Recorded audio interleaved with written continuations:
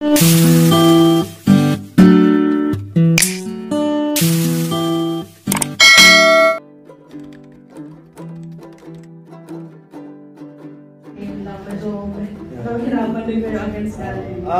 siyempre, thank you kay Lord sa panalo. And yeah, malaking factor para sa amin yung pagpapanalo. And kanina, credit sa dun sa, ano, sa galleries kasi ang ganda nung naging performance nila. Especially dun sa third set. Ah, number one siguro yung service nila.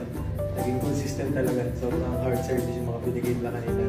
And yeah, pero para sa amin, lesson learned lang yung nangyayari. And part ng process para mas maging matibay. And marami kaming ma-realize na kailangan maging aggressive pa kami. Uh, Parang, unti-unti na kumabalik din yung game mo dito sa Eagle. Ano lang din yung thoughts mo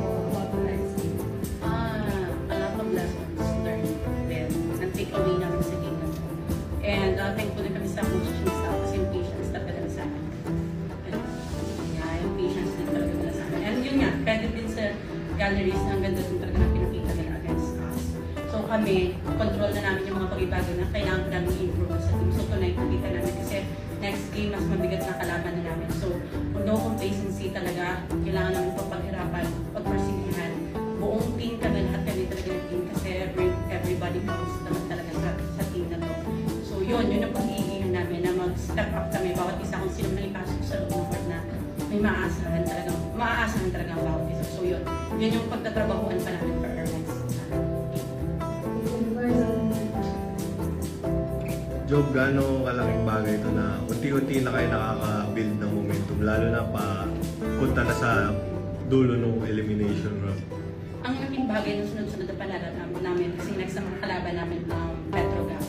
So, malaki siyang moral booster for us na parang um, kasi kesa sa galing kami sa talo, di ba? So, nabalik na namin Pero, ah, tulad nga na sinabi ko, no complacency, kailangan layo pa. Kumbaga, ang ginagalaw namin last conference, um, nakikita namin na ang layo pa ng kailangan pa namin pagtrabuhan, hindi kami titigil doon na makuha ang panalo against Cadillac. But, but for now, focus kami one day at a time sa training and susunod lang talaga sa coaching staff sa kung ano ang tinuturo nila sa akin. Ano yung napansin mong improvement sa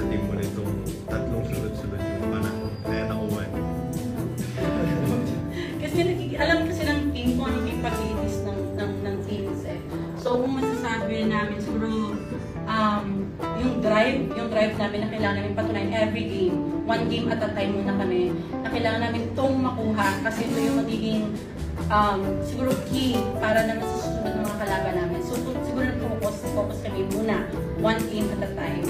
And yun, yung sunod lang din talaga sa program ng coaches. So yun, actually a lot of room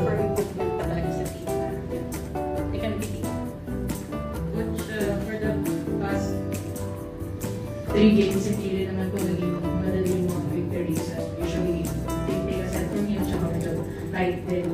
Um, I guess moving forward, ano na lang yung may tutulong mo? Yun, parang tested pa rin kahit panalo, there are still learnings dun sa bawat game.